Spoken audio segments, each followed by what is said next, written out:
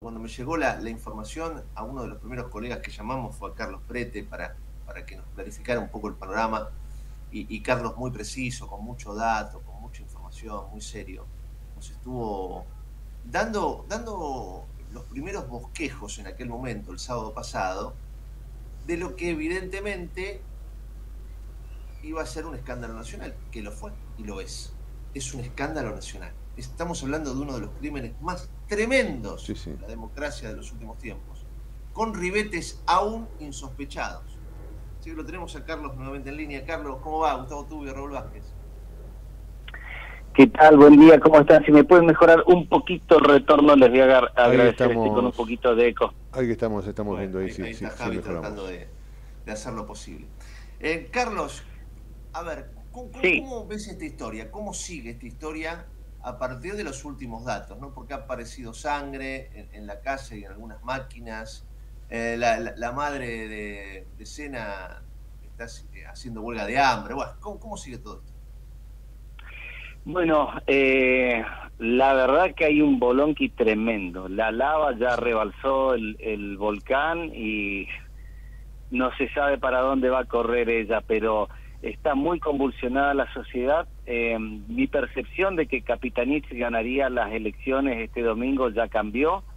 Eh, la marcha eh, fue multitudinaria. Yo le decía recién a un medio colega que terminaba de colgar para atenderlos a ustedes de, de La Rioja. Yo tengo 55 años.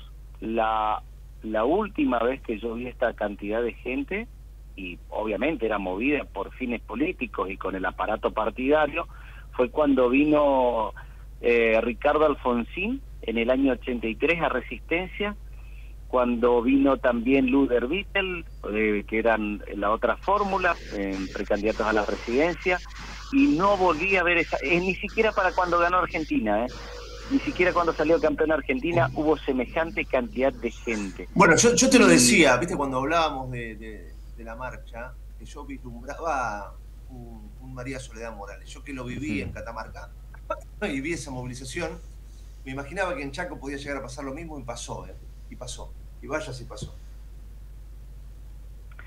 Sí, eh, y eso es lo que está ocurriendo ahora porque, mirá, hay un vuelco, no sabemos, yo desconfío mucho de eh, las argucias que Juan Carlos Saife, el defensor del matrimonio Sena, pueda meter aquí porque es muy hábil, es un tecnicista, es un penalista, es un hombre grande, ya está más para el retiro y lo digo con respeto porque yo lo respeto mucho, eh, y pero es muy hábil. Fíjense que fue el primer, creo que fue el primer abogado en Chaco, no sé a nivel nacional, de sacar, de dejar, eh, de lograr la libertad para su cliente que había matado a su esposa mm. eh, y la había destrozado, descuartizado. También él consiguió la libertad. Claro que en esa época no existía la figura de femicidio, eso está, eso está claro, ¿no?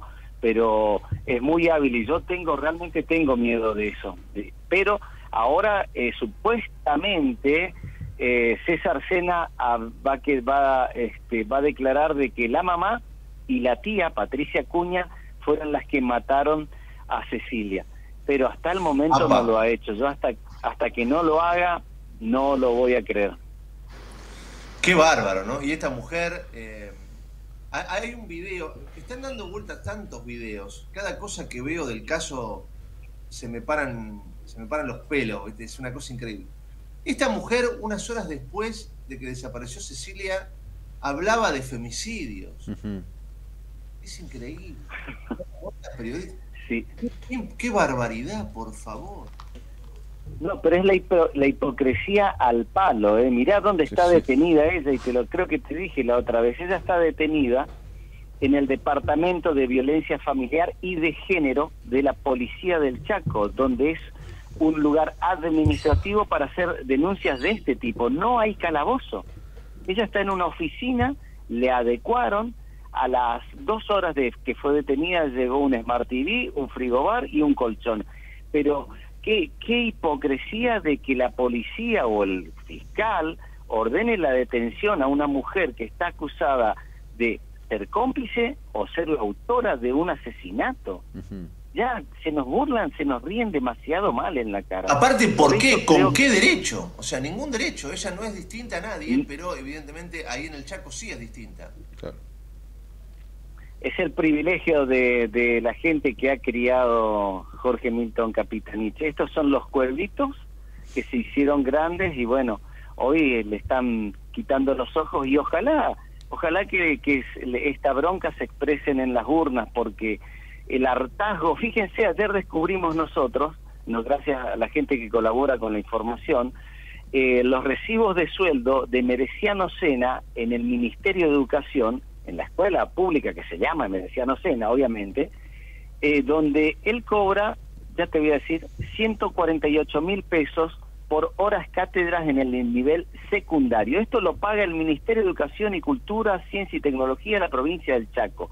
Está fechada la liquidación el 7 de junio de este año, a las 15.30 horas. ¿Le parece que este hombre puede estar al frente de un aula de la secundaria cuando no tiene séptimo grado aprobado? Es una aberración, es una aberración. Se nos ríen en la cara. Y aparte el nombre de la escuela tiene, el nombre su nombre, como, si fuera, como si fuera Sarmiento, ¿no? Es increíble. No, la escuela se llama Mereciano. es increíble. Eh, ¿Cómo te va, Carlos Raúl Vázquez? Te, te saluda. Eh, eh, Hola, Raúl. Me hace acordar mucho a lo que hemos leído más de una vez de jóvenes, que tiene que ver con el Macondo, ¿no? De García Márquez.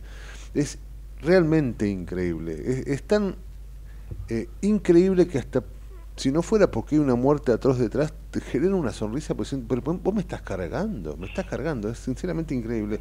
Contanos si, si sabes algo, yo creo que se siguen analizando aún esas manchas que podrían ser de sangre, y si se sabe esto o algo de los restos óseos que se encontraron durante los allanamientos que, que, se hicieron eh, eh, en el campo, y, y creo que también en una de la casa de los sospechosos. ¿Hay novedades de eso? No, mira, yo ah, sinceramente no, no tuve acceso a esa información. Gracias a la llegada de medios nacionales se comenzó a abrir, pero para los medios nacionales que tienen más fuerza. Nosotros acá no, no nos han filtrado, nosotros los que accedimos son por esa fuente que sabes que tenemos a veces los periodistas, pero oficialmente no quisieron largar nada. Eh, por eso somos cuidadosos, por ahí no hablamos de cosas que no sabemos. Lo que sí puedo decirte que nosotros no conocemos el resultado de las pericias. Hay otros medios que habrán accedido y bueno, eh, se habrán esforzado, habrán logrado a través de sus contactos, pero nosotros no accedimos. Lo que sí es el trascendido y muy fuerte que acá se maneja, es que los restos óseos pertenecerían a otra persona en coincidencia con lo que dijo el casero Melgarejo, Gustavo Melgarejo, de que no sería el primer caso de que asesinaban, ¿no? No sería el primer asesinato. Así que en ese nivel de cosas estamos. Y el domingo creo que le va a ir mal a Capitanice en las urnas. Vamos a ver qué dicen la, el soberano que es el pueblo, ¿no? La verdad que, vos sabés que eh, si García Márquez... Sí, sí, sí, es increíble. le, quedó corto, la, verdad, ¿no? se quedó corto ya 100 años de soledad. Sí, sí, sí. Era, era, acá, era por acá la cosa. Sí, sí, esto de que la realidad supera la ficción seguramente está más, más latente que nunca, porque es sinceramente increíble. Eh, eh, el tema es que, bueno, es cierto y hay detrás una vida, una desaparecida en principio, pero, pero bueno, muchos ya dan por muerta, ¿no? Lamentablemente, pero a mí me, me, me, me, me espanta, espanta. Carlos, el, el, la, la, la, vergüenza de esta gente, que todavía no solamente deslizan, lo dicen a cara descubierta, que esto es toda una jugada política y dan a entender que Cecilia está en Palma de Mallorca, en bikini, tomando sol. Sí, eh, el colega Ricardo Goya además de ser un ladri que ha facturado a Fopea y no ha rendido sus trabajos, salió con su pareja, con Patricia Cuña, que es la tía de César, a decir tantas barbaridades. La verdad que duele, la verdad que uno por ahí se quiebra y, y la impotencia y la, la injusticia y decir, no saben los comentarios de los docentes en, en, el posteo, en, en, las redes sociales nuestras de, de los recibos de sueldo de cena. Eh, está muy inflada la gente. Yo no sé qué va a pasar en las urnas, pero si es un urnazo va a ser un ejemplo a nivel nacional de lo que hay que hacer con eh, este populismo que con dineros públicos ha privatizado en un piquetero en dos o en mm, este en Sala, en Milagro Sala o en eh, Mereciano Sena, la guita de todos los argentinos para que hagan un desmanejo. Y no saben las cuestiones que están saliendo. Ya anoche había asamblea en el barrio Mereciano Sena para cambiarle el nombre a todo, porque el barrio se llama Mereciano Sena, la escuela eh, Che Guevara, eh, el movimiento Mereciano Sena, todo es el nombre del tipo como vos dijiste, como si fuera Sarmiento, ¿no? Un prócer de los nuestros. Bueno, eh, yo estoy a su disposición, pero les tengo que dejar porque el deber me llama, muchachos, le agradezco. Yo solo le pido un favor, yo les paso varios números ahora a su producción. Eh, no nos dejen solos, porque si se, van, se van los medios nacionales, viene la impunidad. Tome, tengan en cuenta esto, por favor, les pido hasta que termine esto, por lo menos. Sí, Carlito, sí, sí, sí, se queda tranquilo que vamos a que vamos a seguir. Seguramente mañana también te voy a sacar en TN para poder seguir charlando sobre el tema. Te mando un abrazo grande y estamos con ustedes. Gracias a ustedes, gracias de corazón, muchas gracias. Gracias. Carlos Prete, ¿eh? periodista